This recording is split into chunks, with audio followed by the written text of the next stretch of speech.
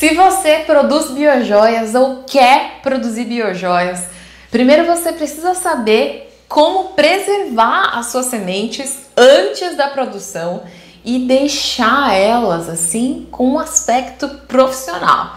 Certo? Meu nome é Jéssica Terra, eu sou criadora de biojoias, também ensino biojoias e hoje a gente vai falar de como preservar as sementes aí no seu ateliê de biojoias. Vamos lá? Primeiro você precisa saber o seguinte: onde não deixar armazenadas essas sementes. Pote de sorvete, qualquer outro pote de plástico, sacos de plástico, vidros abertos ou qualquer outro pote aberto, vasilhas abertas. As sementes, antes de produzir, elas geralmente ficam paradas, né?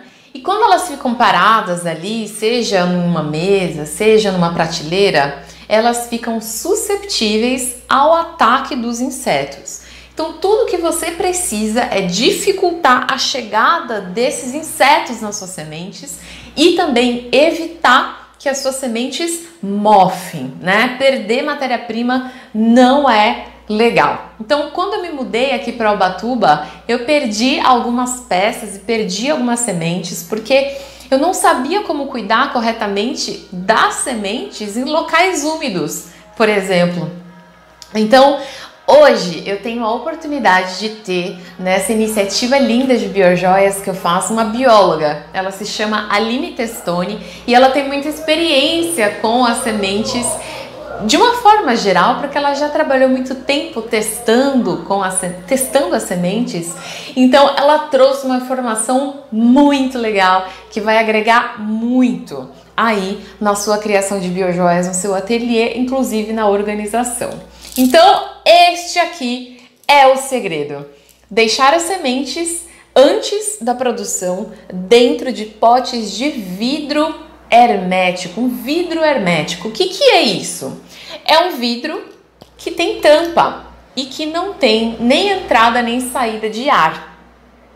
Quando você deixa as sementes dentro do vidro, você impede que o mofo entre e você impede que o inseto entre aqui. Existem vários tipos, espécies de insetos. Além dos insetos, a gente tem as traças. Então, quando você deixa as sementes dessa forma, você evita isso. Agora, só um, um adendo: se você colheu as sementes e elas desenvolveram um inseto, tá errado, porque você precisa primeiro tratar essas sementes, certo? Você precisa fazer o passo a passo correto das sementes que você colhe. É muito importante para que não dê inseto. Só o vidro por si só não vai resolver. É preciso tratamento das sementes, certo? E aí você precisa comprar esses vidros herméticos? Não, a gente pode reutilizar. Você sabe, né, que aqui no Brasil quase a gente não, não faz reciclagem. As pessoas não têm essa cultura, não tem para onde levar. Então você pode reutilizar vidros. Vidros de óleo de coco, de azeitona, de palmito, de café solúvel, todo e qualquer vidro que tenha tampa. E aí você vai fazer um teste. Ganhou um vidro ou reutilizou um vidro, você vai lavar o vidro e colocar água. Se você virar e sair água, mesmo com a tampa fechada, significa que esse vidro não é hermético. Se você virar e aí sim toda essa parte ficar sequinha, significa que o vidro é hermético, ou seja, não tem por onde entrar e sair ar. Esse é o vidro ideal, certo? Então você vai fazer uma campanha aí no seu WhatsApp com as pessoas que moram perto de você, com vizinhos, conhecidos do seu trabalho, explicar que você está fazendo biojoias e aí você vai pedir para eles, para essas pessoas, não enviarem para reciclagem ou não jogarem no lixo, para elas te darem o pote de vidro. Depois dessa dica, você vai conseguir organizar melhor, inclusive, o seu espaço. Instala aí os, umas prateleiras no seu espaço, mesmo que você tenha um espaço pequeno, dá para você fazer isso. Instala aí algumas prateleiras e coloca os seus potes de vidro. É importante que você não deixe os vidros dentro de armários fechados e também não tem necessidade.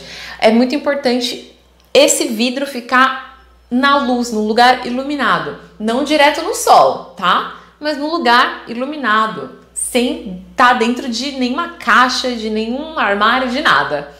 Combinado? Me conta. Até aqui, como é que você cuidava das suas sementes antes da produção? Hã? Ficou alguma dúvida sobre o assunto? Me diz aqui nos comentários que eu vou responder para você e sempre dá uma olhadinha na descrição dos vídeos porque tem links importantes para você ver. Combinado? Um beijo, conte sempre comigo nas suas criações, na sua produção de biojoias. Só lembrando, hein? Se inscreve nesse canal porque aqui tem muita coisa legal, muito conteúdo bom e se você tem alguma dica, alguma sugestão de tema de vídeo, Deixa aqui nos comentários que eu vou gravar um vídeo com o tema que você escolheu. Certo? Um beijo. Agora sim. Tchau.